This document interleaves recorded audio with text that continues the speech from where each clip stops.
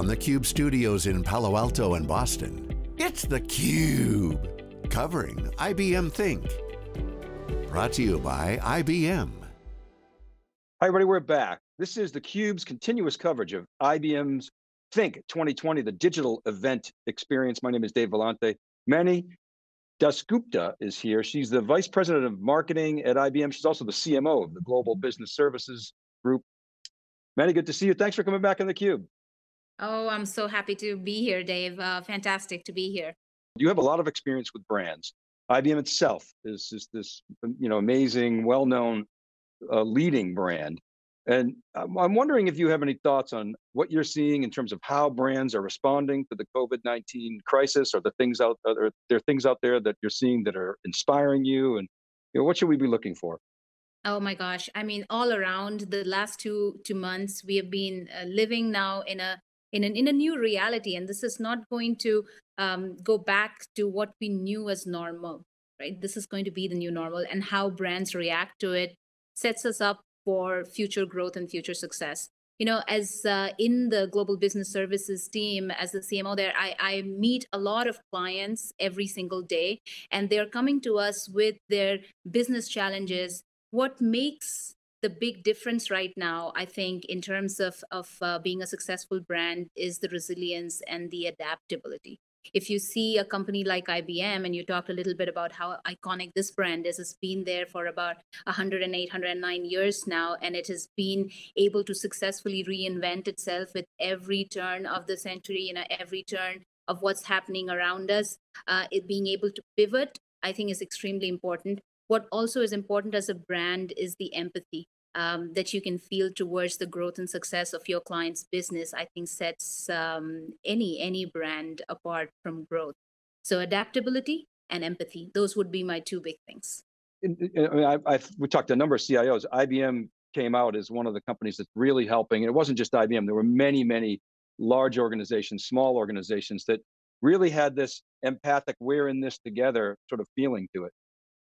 That's exactly right. If you look at it, it's it's both of what we do for our clients, but also what we do for our own employees. Um, 95% of our workforce across IBM is now working from home in a safe and secure environment. We've been able to work with our clients and move those teams that work with our clients also in a more safe and secure environment. For example, something like our co-creation workshop the IBM Garage, you would think that for co-creation innovation, you all need to be together in a room and put up sticky uh, notes on, on the board behind you. But we have moved it to be a virtual experience. And we are now offering free trials of a lot of our products and solutions to our clients for the next 90 days where they can get their most pressing business problems solved and you know we just want to make sure we get together and get the economy back on track get the companies back on the track of growth now, one of the other passions of yours, I know, is this notion of, of cognitive business, a smarter business. And, and I want to ask you, help us understand what that is, you know, beyond the sort of marketing taglines, what, what is a smarter business? Yes, a smarter business is adaptive and resilient. So the, that, that would be the biggest things um, that I would highlight. Now, how do they do that? They do that because they are able to have business platforms they use the data that they have at their disposal. And mind you, this is not the um, data that is searchable online. 80% of, of the core customer data is with, with uh, organizations themselves. Now, how do they use that data to create business platforms that give them competitive advantage is one of the core tenets of what makes a smarter business. The second piece is around workflows that are more intelligent. Now, what makes these workflows more intelligent? What are these workflows? These are end to end processes. So think of supply chain. How do you make your supply chain more resilient in the COVID crisis right now that many um, many companies are grappling with? How do you strengthen your direct to consumer routes? Many companies that used to deliver to stores now are figuring out how to get direct to consumers. So making these work flows more intelligent, more resilient? How do you manage your workforce, right? Um, how do you make sure that the customer data that many um, employees work with is safe and secure? So, second big piece is the intelligent workflows. And the third thing is all about the experience and being able to engage with your customers in, in, in newer ways.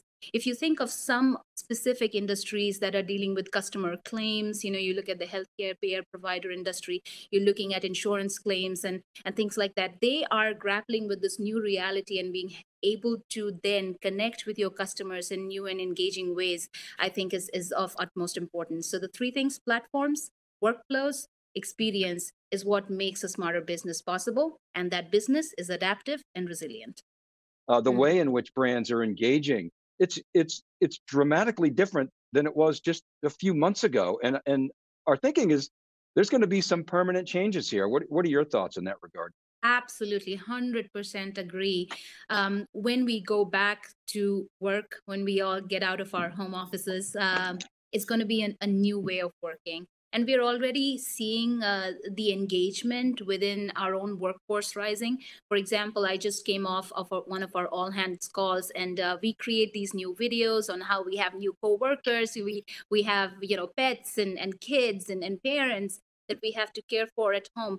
Um, with all of this though there is a greater sense of togetherness. There is a greater sense of solidarity and uh, what inspires me the most is when I look at the people around us uh, in the delivery uh, teams, uh, you know, across the world. If you look at India, if you look at Philippines, you know, our big teams that are delivering for clients every single day, the resiliency that they have shown in being able to overcome these these hurdles are giving us ideas that this is not a one and done. This could actually be the new normal going beyond it the automation that we have been able to apply. Uh, uh, when you apply AI, how do you make processes different? If things are more efficient, wouldn't it be a better idea to have that go throughout to the rest of, you know, um, what's the, the new normal around us? So this is absolutely going to change the way we work, the way we engage with our clients, and the kind of um, new ways of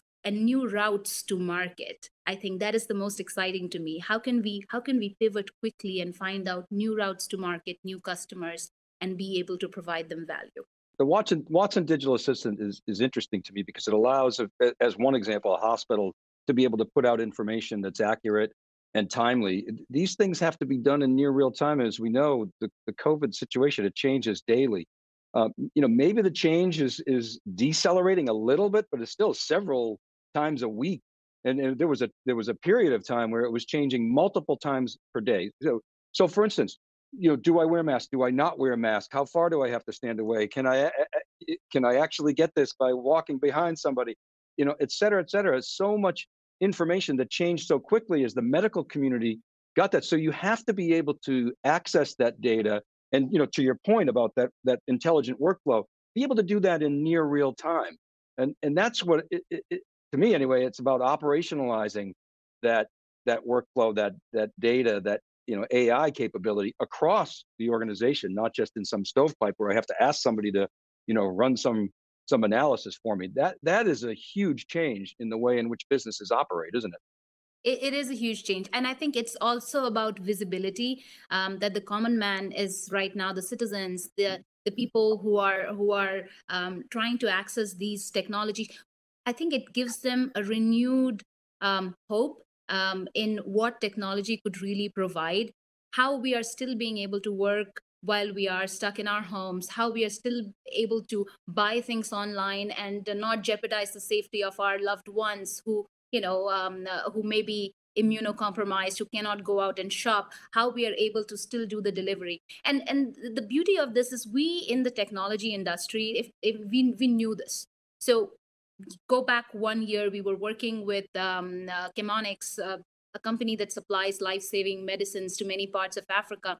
The supply chain there and the technology and the intelligence that we had embedded in that workflow made it possible for this human and tech interaction. And I think that is what the beauty of this is the renewed understanding of what technology can do for you and the ability to interact with the technology to make that happen. For example in africa you you have to sometimes rely on the goodwill of the local villagers when there are floods and the, the paths are run over with water. You have to trigger um, uh, an email or you know you have to trigger to your cell phone so that the locals can then punt the medicines over uh, over the flooded plains to the hospitals. The interaction of the human with the technology that is there to help you and make your lives easier is i think right now there's renewed understanding and acceptance of that and i think it's a it's a good thing it's a good thing for all of us I mean, it really is the the uniqueness of IBM, deep industry expertise, knowledge, and yet you know tons of R and D and and technology, you know, galore.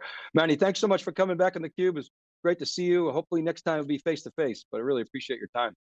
Oh, I, I so wish for that. I so I I do miss the the live uh, connections, but you know technology will uh, take us forward till then. And uh, fantastic to be here. I loved it. Talk soon. Great. And thank you for watching, everybody. This is Dave Vellante for theCUBE for the IBM Digital Event Experience for Think 2020. We'll be right back right after this short break.